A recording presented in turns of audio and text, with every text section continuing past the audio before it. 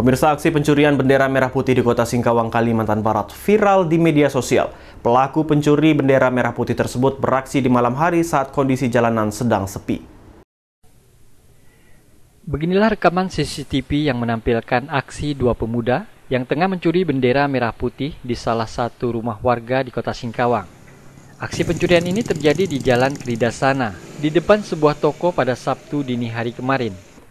Tampak dua pemuda berboncengan dengan menggunakan sepeda motor menghampiri halaman ruko. Salah satu pemuda kemudian langsung mencabut tiang bendera merah putih dan kabur. Orang tokoku kasih tahu kalau benderanya hilang sama besinya.